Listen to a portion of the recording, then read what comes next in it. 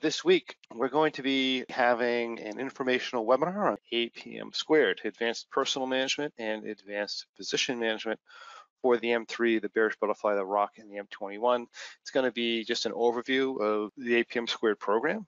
And if you go back and you look at the successful traders of the month, and you take a look at those videos, a lot of them attribute their success to this program, the APM Squared program. So it's probably the most mentioned program we have in Successful Trader of the Month.